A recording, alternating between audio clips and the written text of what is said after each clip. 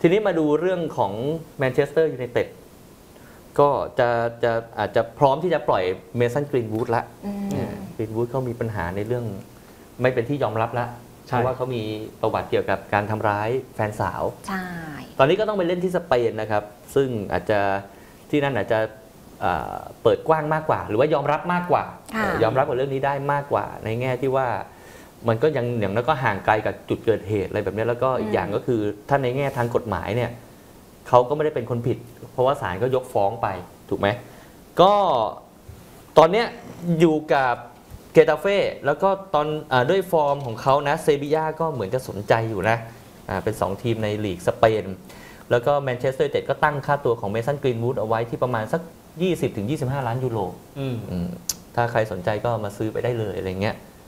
แมนยูไนเต็ดก็พยายามดูแลให้ดีที่สุดอะอืม ก็จนกระทั่งแบบถ้ามีใครพร้อมพร้อมมาซื้ออะไรเงี้ยเอออม อะนะครับ ก็ยังเหลือสัญญาจนถึงปี 2025 นู่นนะอีก 2 ฤดูกาลค่ะ เพิ่งจะอายุ 22 ก็น่าเสียดายเหมือนกันนะสำหรับใช่ เมสันกรีนวูด อืมอืม ไม่มันเป็นเรื่องเรื่องแบบเนี้ยมันเป็นอะไรที่ถ้าเกิดขึ้นแล้วอะในสังคมมันจะโทษผู้ชายก่อน ใช่ใช่อืมใช่ใช่ก็แต่ว่าเขาก็ยอมรับผิดนะเพราะว่า ใช่ มันเป็นแต่ตอนเรื่องละเอียดอ่อนด้วยไงที่อังกฤษอะนะฮะอืมใช่อืมแล้วมันมีคลิปมีเสียงมันชัดเจนมันมัดอะฐานมันมัดตัวหลักฐานมันมัดมัดตัตัววส่วนที่ใช่ยกฟ้องมันยกฟ้องเพราะว่าหาพยานไม่ได้ พยานเขาไม่อืมคือสองฝ่ายเขาเคลียร์กันแล้วอะอืมชายหญิงอะแล้วก็ก็ถ้าเขาเคลียร์กันลงเอตัวอแล้วก็เขายก็กมีฟ้องลูกได้หลังจากนั้นก็ก็มาคบกันต่อมีลูกด้วยกันอะไรเงี้ยอืมมันอาจจะเป็นอารมณ์ชั่ววูบหรืออะไรแต่ว่าเรื่องราวมันเกิดไปแล้วนะครับอืมความเสียหายหนักเลยนะค่ะอนาคตไปเลยอะ อะอีกเรื่องหนึ่งแมนยูไนเต็ดก็อัมราบัตเจ็บจากทีมชาติมีคน อันนี้ก็เป็นโอ้โห อีกหนึ่งเรื่องที่โชคร้ายนะของเอริกเทนฮากแล้วก็แฟนแมนยูอืมเออนะก็เข้าไปเจ็บคนเอ่อรับใช้ทีมชาติโมร็อกโก ค่ะนะกุ๊กกิ๊กก็ในศึกแอฟริกันเนชั่นส์คัพรอบคัดเลือกแอฟริกันเนชั่นส์คัพก็เป็นฟุตบอลระดับชิงแชมป์ทวีปเหมือนกัน อืมก็เอาชนะลิเบียมา 3-0 เกมเนี้ยเขาไม่ได้มีส่วนร่วมนะเขาลงเล่นในเกมอุ่นเครื่องกับไอวอรี่โคสต์เมื่อวันเสาร์นะสองเกมที่โมร็อกโกไปเตะเนี่ย เตะกับไอวอรี่โคสต์อ่าไอวอรี่โคสต์ก่อนแล้วมาเตะกับลิเบีย ซึ่งเกมกับไอวอรี่โคสต์เนี่ยอัมราบัตมีชื่อติดทีมชาติไป แต่ว่าเหมือนความฟิตก็ยังไม่ถึงอะก็ไม่อัได้นนี้ลงสนามอยู่ดีมอันนี้น่าจะเป็นลักษณะเจ็บไปจากต้นสังกัดแล้วมั้งต่อ ก็มีสิทธิ์เป็นไปได้ อืมก็เล่นไม่ได้ค่ะทีนี้รอดูว่าลงเล่นไหวไหมในเกมกับลิเบีย ก็เล่นไม่ได้อีกนะครับอืมแล้วก็ต้องถอนชื่อออกไป ซึ่งทางกุนซือทีมชาติโมร็อกโกนะฮะวาลิดเลกรากีเนี่ยก็บอกว่า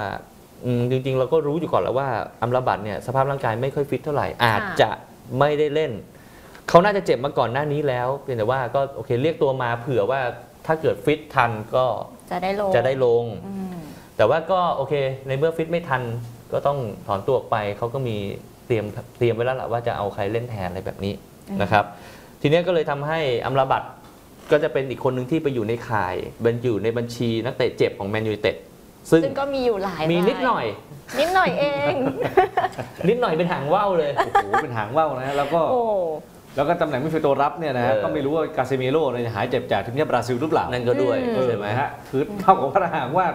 ไม่มีทั้งอัมราบัตแล้วก็คาเซมิโร่เนี่ยคือแมนยูนัมโบนะตรงแล้วกก็ลางมีเนี่ยแม็กทอมมิเนอยู่ แมคโทมิเน่เนี่ยหลังมีโล่ๆมาไม่ใช่เหรถูอกขยับให้ไปเล่นเป็นเหรอ เป็นสูงขึ้นสูงขึ้นไง อ่า เออโอ้ ใช้ใครจะไปดึงเฟสกลับมาก็ไม่ได้แล้วด้วย เออเขาพี่ไมนูเหมือนกลับมาซ้อมแล้วนะพี่เขาพี่ไมนูเหรอ นะฮะแต่ก็แต่ก็ยังเด็กอยู่ แล้วตอนนี้เขาบอกว่ามีแววนะเออเขาพี่เมนูเป็นดาวรุ่งอืม อะก็แมนยูเต็ดช่วงนี้มีแต่ปัญหานะ ครับ ลูกชอ ไทยเรลมาเลเซีย ลิซาโด มาร์ติเนสอารอนวานบิซาก้าพวกเนี้ยก็เจ็บๆ อยู่ทั้งนั้น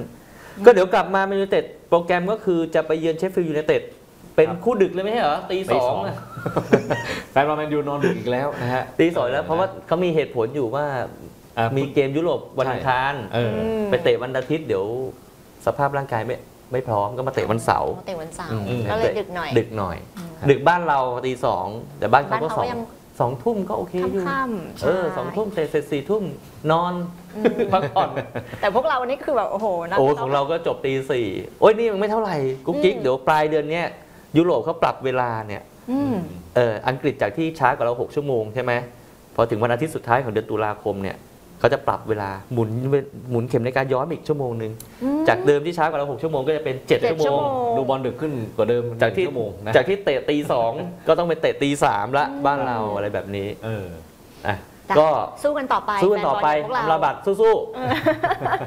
ๆพร้อมเสิร์ฟถึงหน้าจอทุกวันกับรายการสยามกีฬาเดลี่พบกันทุกวันจันทร์ถึงศุกร์เวลา 12 นาฬิกาเป็นต้นไป